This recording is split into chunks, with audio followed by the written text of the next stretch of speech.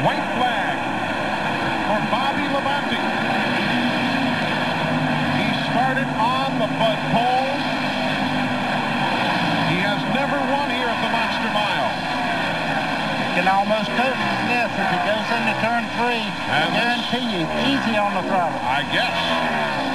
This will be the 37th race since last.